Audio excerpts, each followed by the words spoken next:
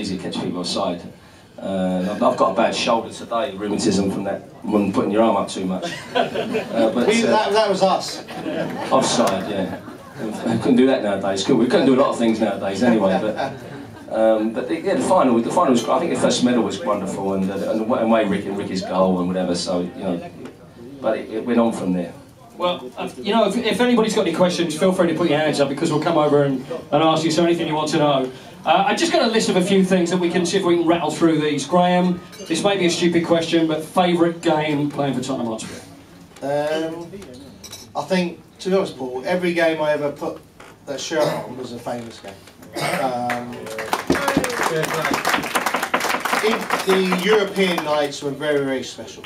Um, when you had the white shorts, the white shirt, and the UEFA Cup night was the most special night of my career. Um, you know, I, I, like Ossie said, he did miss from six inches, so don't worry about that. And he meant to miss, really. It was his left foot, so he could never kick a ball with his left foot. Um, but I knew, if you a bit like he sat there, and he's a good mate of mine, and uh, Mickey, the first game, he took the corner from Maxi to score. Um, the second game, the ball went out to him, and I knew that he would whip the ball in straight away. Bilko, which is Mark Falco, the ones you don't know, Bilko, he pushed the blonde lad in front, which gave me the space to chest it and volley it into the net. And uh, you know that that that game will live with me for the rest of my life. Is there a sorry, Graham? Is, there- is there a defining moment? Is there a is, is it the moment the goal went in? Is it the lifting of the cup? If you look back, is there one moment that you think that was it for me?